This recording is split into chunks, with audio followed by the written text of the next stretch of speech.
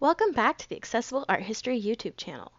This week, across our social media channels, we are focusing on royal portraiture. So, for this episode of Art History Minute, we're going to examine this portrait of Isabella d'Este. She was the Marchioness of Mantua and one of the great leaders of the Italian Renaissance.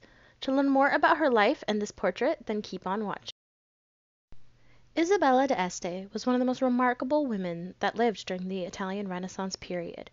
She was born in 1474, the daughter of the Duke of Ferrara, a principality in northeast Italy, and a Neapolitan princess.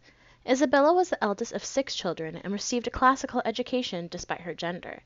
In 1490, at the age of fifteen, she was married to Francesco Gonzaga, the Marquess of Mantua.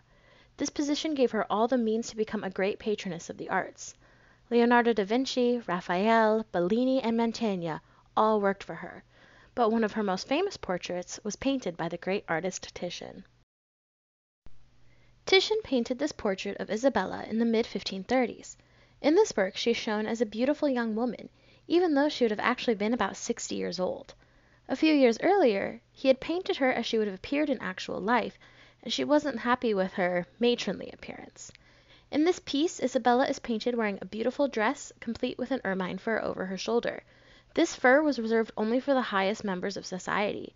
Her hair is done up in an elaborate style that complements the head dress. Her eyes hold the viewers with an intelligent gaze. These details were added to show how wealthy and powerful Isabella was in Renaissance society. After the death of her husband, she became a regent for her son. Using her political know-how, she was able to maneuver to get her territory created as a dukedom, elevating her son on the political playing field.